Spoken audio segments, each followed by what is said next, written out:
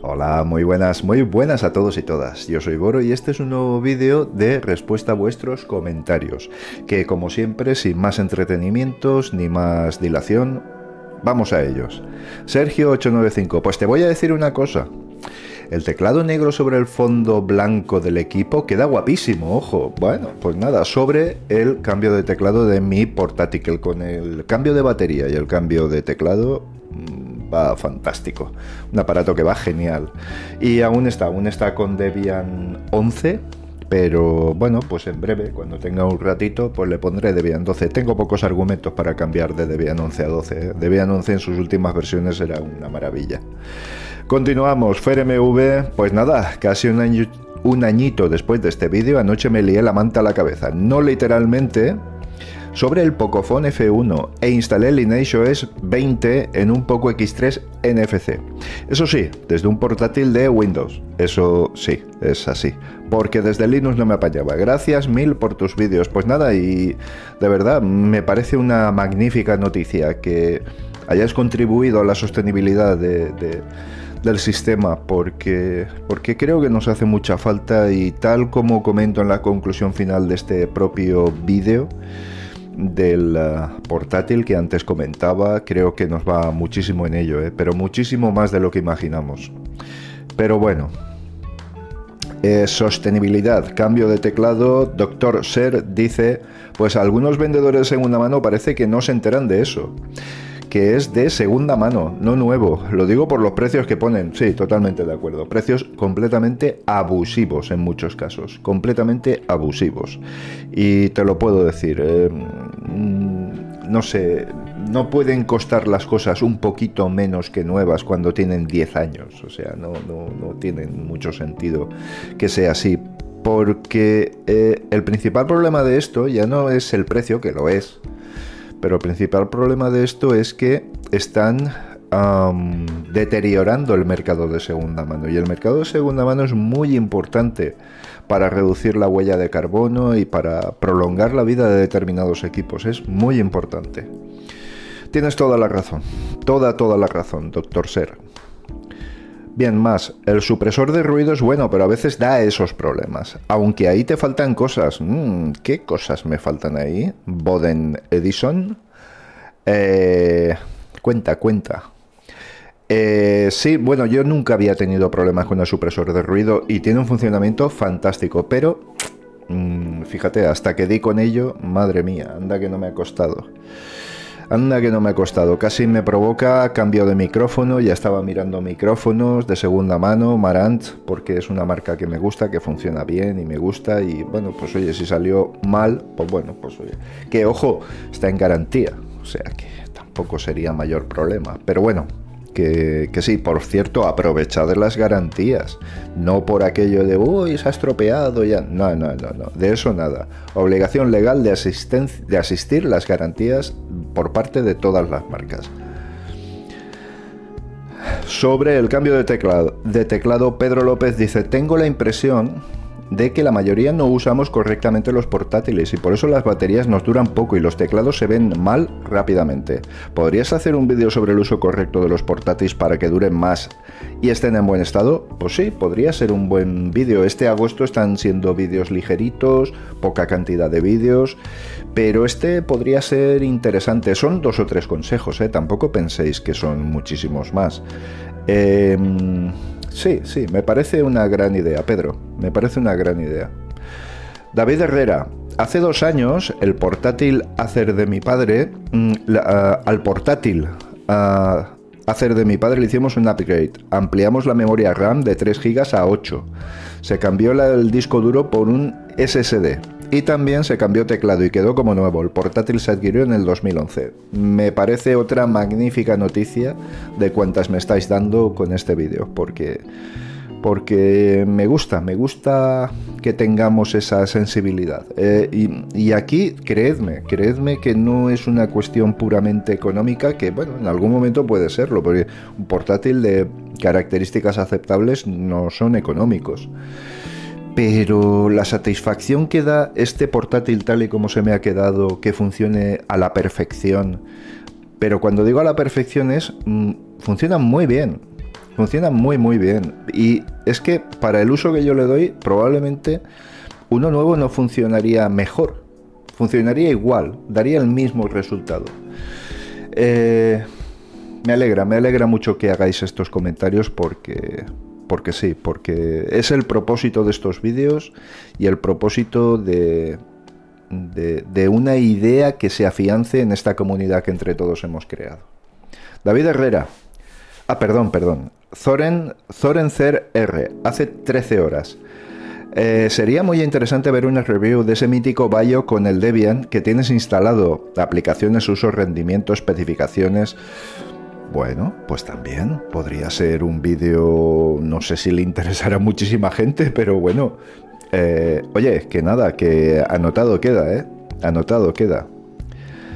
Eh, sobre. Seguimos con el cambio de teclado. Millán Aventura. Queda bien el teclado negro. Me gustó la secuencia de fotos. Gracias. Vale, pues es que eh, realmente quería.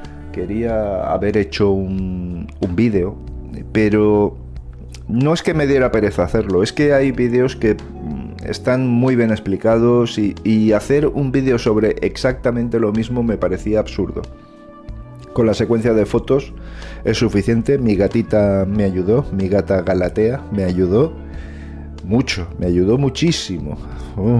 Dios mío, los gatos, si consideran que el humano tiene que desaparecer de en ese momento de lo que esté haciendo, no se cortan nada en conseguirlo. Son unos animales increíbles. los humanos somos, le sobramos a los gatos. Eh, Alejandro eh, Forner dice, yo cambio el teclado de otra forma más fácil, pero si te ha funcionado perfecto. ¿Qué obsesión tienes con Windows? Que hasta la tecla de Windows quita. Sí, sí, la voy a quitar, la voy a quitar, la voy a borrar. voy a coger un poquito de alcohol a ver si se borra y si no, ya veremos. Pero sí, sí, Alejandro, ya sabes. Gelo MZ. Todo bien con la sostenibilidad y Linux. Sin embargo, el asunto del cambio climático pues está de más. Basta seguir a geocientífico Ian Plimer para darse una idea de que lo que pasa con el clima y dejar de lado a activistas a favor y negacionistas, que al final son solo etiquetas cuando no se desea debate científico. Felicidades por el equipo renovado. Eh, ejemplo de buen uso de recursos. Mm, bueno, no, no, no sé muy bien, eh, Ian Plimer, que nos que nos propone o que nos ofrece, qué opinión nos ofrece, pero bueno, creo que no creo que sea malo eh, el, luchar por evitar mm, por evitar las condiciones que provocan el cambio climático. Me parece que eso es bueno, lo otro es malo. Negacionismo es malo, directamente. Entonces, bueno, esto daría para, para no para un vídeo, sino para una serie de vídeos. Eh, gracias, gracias por las felicidades por el equipo. Yo creo que cuanto más se hagan durar las cosas, mucho mejor vamos. Yo mi portátil es del 2009 y creo que hasta un condensador o algo se queme, no lo cambio ni lo tiro. No, ¿por qué? Si funciona, es lo que decía antes uh, Just01, no he dicho el nombre. Eh, sí, claro, claro, porque si te sirve para tus propósitos, es que no necesitas más. Otra cosa es que tengas, no sé, la intención de estrenar un equipo y prolongarle la vida durante muchos años y todo esto. Bien, de hecho yo podría comprarme un equipo nuevo, podría. Y de hecho, en algunas ocasiones me hubiera venido muy bien un equipo nuevo, potente, lujoso. Lujoso me da igual, me da exactamente igual, pero, pero me hubiera venido bien. Pero como dice Richard, Richard Stallman, eh, que no nos importe aceptar ciertas incomodidades por el bien común, ¿eh? que no nos importe. David Poza, los vídeos de sostenibilidad son geniales. Ah, por cierto, Just01, felicidades, porque es una buena es una, una, buena acción la que realizas con, ese, con el mantenimiento de ese portátil.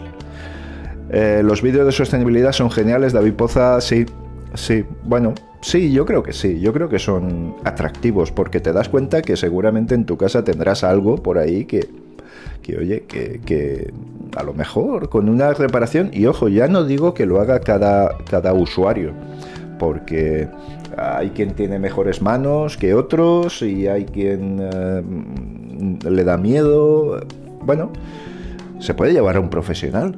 Un cambio de teclado en un profesional no estamos hablando de una cosa mm, desusadamente cara. Dependerá del material y esto os garantizo que por alguien que sepa hacerlo, que no esté dudando a ver si rompe algo, si no introduce la uña o el destornillador demasiado profundo para no dañar algún impreso. Em, yo creo que en menos de media hora se puede hacer perfectamente. Pon que cobren una hora, pon que te cueste 40 o 50 euros la reparación. Me parece aceptable. La gente también tiene que comer. ¿eh? Tú realizas tu trabajo y cobras por él, y esa gente realiza un trabajo y tiene que cobrar por él. Me parece perfecto. Evidentemente, rechacemos los abusos, pero bueno, siempre que sean cosas correctas, ¿por qué no? Me parece, me parece que sí. Raúl Amado, hola Boro, abrazo de gol. Sos un genio. Tenemos que contribuir entre todos a la sostenibilidad, sin contar que en muchas ocasiones estaban mejor fabricados estos componentes. Abrazo de gol. Eh, me encanta la frase, te la agradezco. Y no sé si mejor fabricados. Lo que sí que se percibe que en los últimos tiempos muchos fabricantes están realizando sus equipos para que no se puedan ampliar, para que no se puedan reparar tan fácilmente. Hay mucho producto pegado, ensamblado con clips que se rompen a la mínima presión. Mm, me da la sensación de que van por ahí, de que va por ahí la situación. Pero bueno, eh, en nuestras manos está informarnos y averiguar quiénes son esos fabricantes cuáles son esas marcas, cuáles son esos modelos y rechazarlos directamente.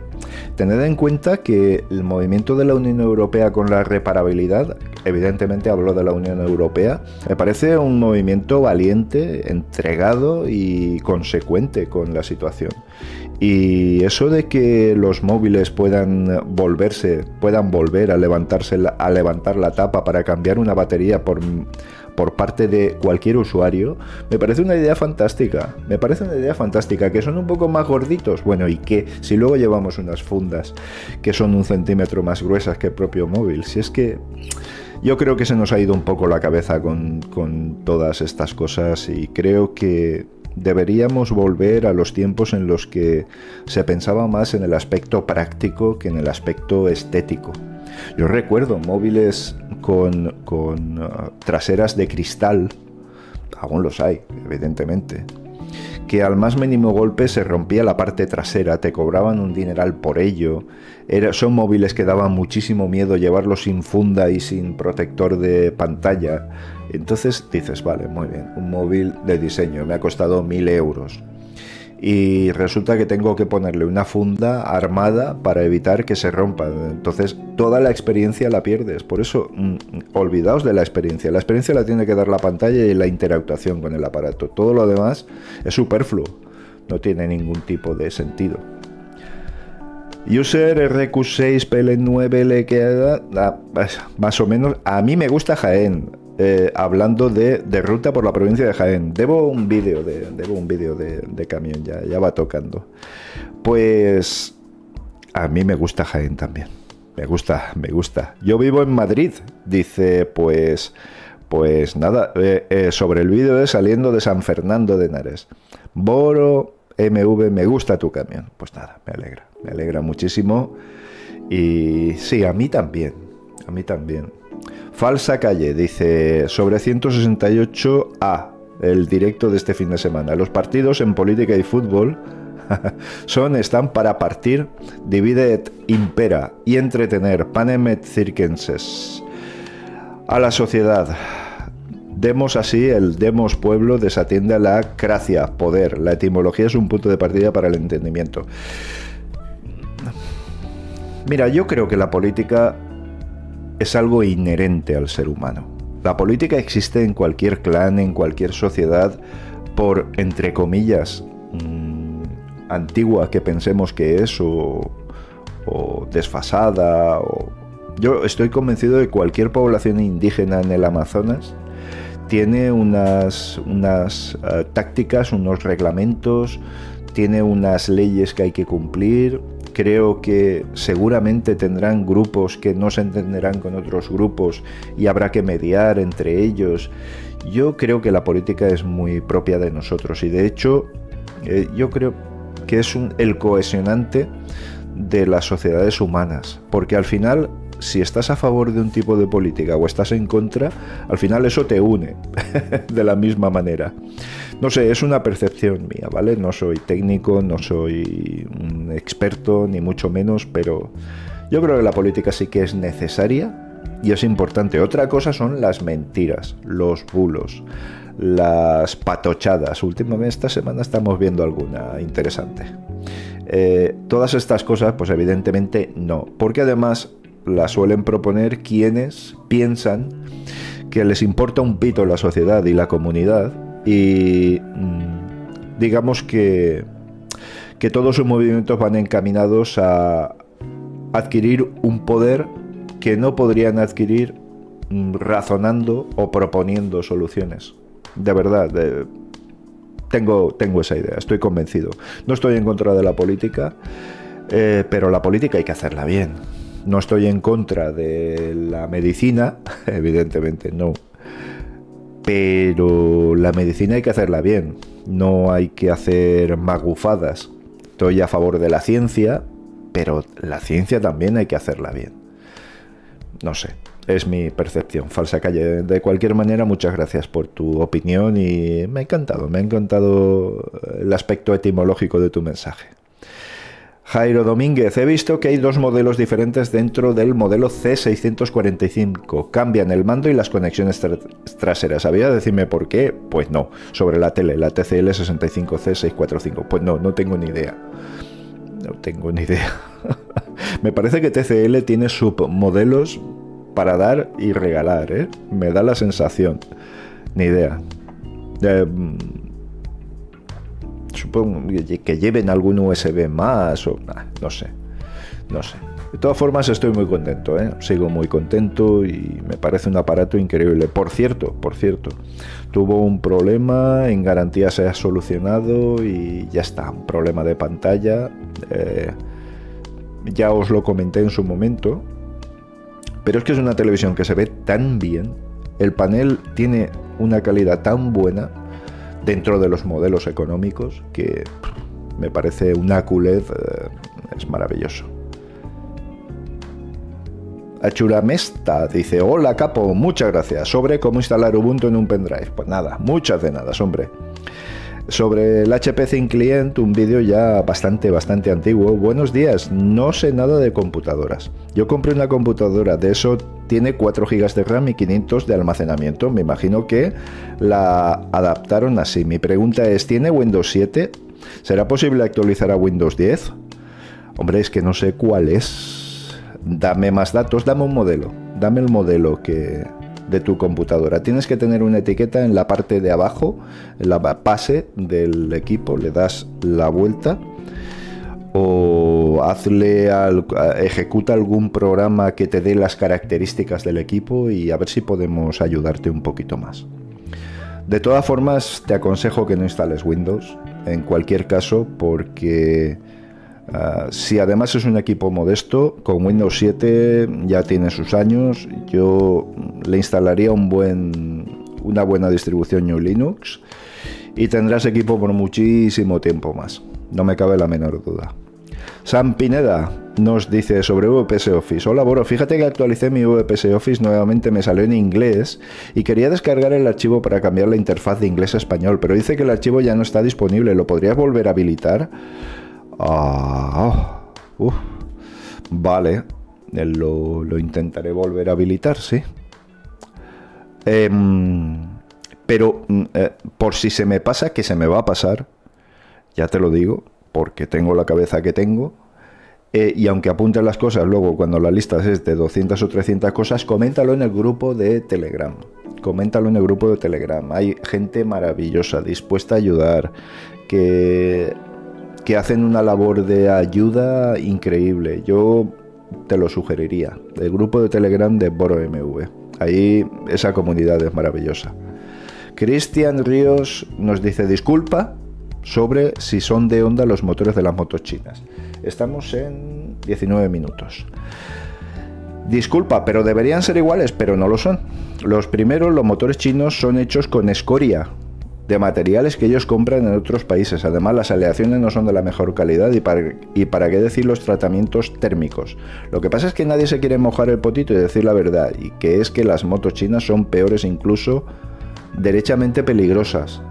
Duran menos, se desgastan más rápido y no necesitas un estudio. Cuando tomas un kit de pistón japonés Honda original y lo comparas con un kit chino y te das cuenta de inmediato de la basura que es.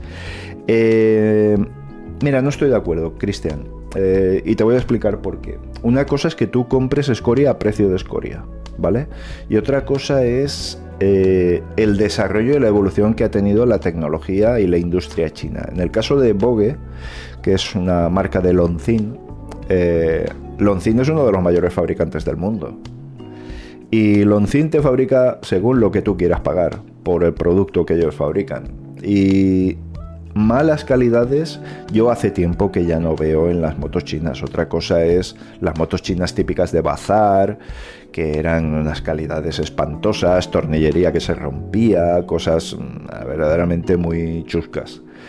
Pero actualmente si tú compras una Vogue, una CF Moto, una MacBook Montana, una no sé, no sé, tantas, una Benelli TRK, una QJ hermanita, pues oye, yo creo que ahí no estamos hablando de esas calidades que comentas, sinceramente. Yo conozco ya y ya hay eh, por ahí Benelis TRK próximas a los 100.000 kilómetros ¿eh? y sin ningún problema, más allá de los que se puede esperar por algún tipo de terminación general.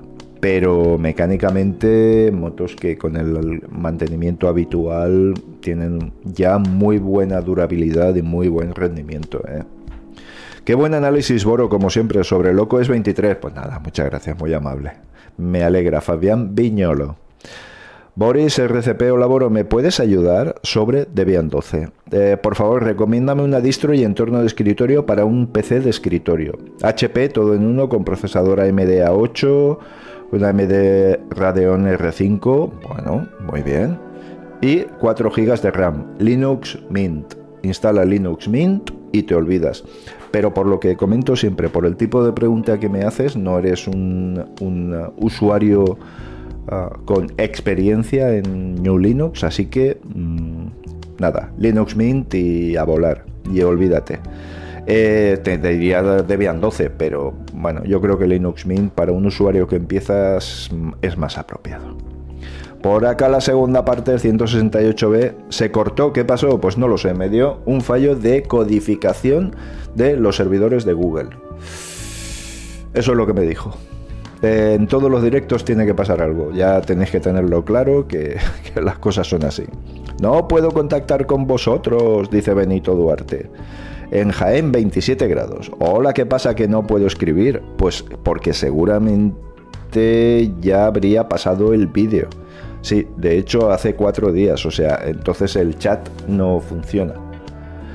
La pregunta correcta sobre si son de onda los motores de las motos chinas, Antonio de Dirty dice, la pregunta correcta sería, ¿son motores chinos los motores de Honda? Nadie se pregunta por qué últimamente los vehículos chinos en general son cada vez mejores. Con poquísimas excepciones, todo se fabrica en China, la nueva calidad china. Vamos a ver, esto eh, eh, es un tema que yo creo que se le da demasiadas vueltas a esto. Eh, las patentes tienen un tiempo de vigencia y expiran.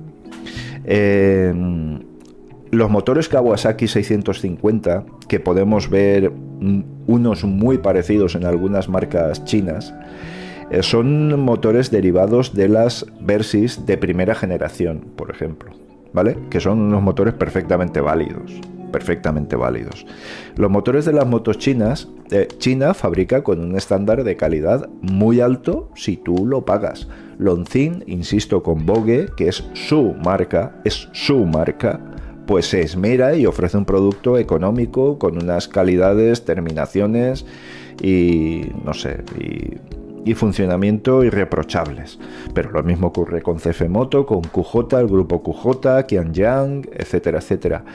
Eh, el tema de Honda es un tema recurrente, me explico. Honda fabrica en Malasia, por ejemplo, fabrica motores en Malasia, en Singapur, en no sé, en Hong Kong, digo yo. Además de sus fábricas en Italia, en Atesa, por ejemplo, donde fabrica motores de pequeña cilindrada y ensambla muchos, eh, muchas motos completas. Em, pero eso no quiere decir que tengan unos estándares de calidad como tradicionalmente han tenido en Malasia, por ejemplo. Oye, que en Italia se han vendido motos que no funcionaban ¿eh? directamente. Y con el pretexto, y además de marcas como Bimota, con la, con la Due, con la Due Tempi, esa moto no funcionaba directamente con la inyección que proponían. Te decían, bueno, si quieres, mientras resolvemos el problema, te instalamos una batería de, carburador, de carburadores y la moto ya funciona. Esa es la, además es el motor que hundió a Bimota, ¿vale? Pues eso no funcionó no funcionó. Ni tenía recursos para hacer frente a una devolución masiva de los clientes. En Italia se han visto cosas increíbles. ¿Y es mala la industria italiana o los productos italianos? No, ¿no? Han habido productos malos y productos buenos, sin más. Entonces, si Honda fabrica en Malasia, pero con los estándares y las calidades de materiales que propone Honda, pues no tiene que haber ningún problema. Solo que, pues, las manos que lo montan son diferentes, pero nada más. Nada más. En cuanto, ¿por qué no tiene que fabricar China hoy por hoy con la misma calidad que pueda, pueda fabricar Japón? Pues no, no creo que, que no, entiendo por qué no puede ser así. Ah, tienes un avatar que es exactamente... Eh, te pareces un montón a un muy buen amigo mío. Claudia Vitti dice, muy buena explicación sobre la instalación de Debian 11, eh, particiones y repositorios. Ya quiero hacer la instalación con este tutorial. Lo intenté con otro, pero me terminó dando error. ¿Podrían decirme cómo desinstalar esa que no me funciona? Nada, formateas ese disco y te olvidas. Sí, en la propia instalación te va a dar la opción de eh, formatear ese disco. Y ya está.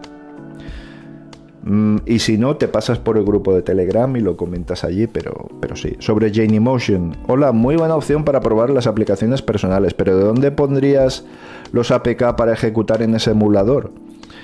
Eh, mm, ahora mismo no sé si tienen, porque yo solo, solo he ejecutado aplicaciones hechas por mí a través de, webs de terceros. Eh, yo creo que se tiene que poder comunicar de alguna manera. No lo sé, le echaré un vistazo. Super espacio y tienes el buscador, es decir, Rofi, lo tiene todo. Sí, señor, Fernando Carrasco sobre la review de Loco.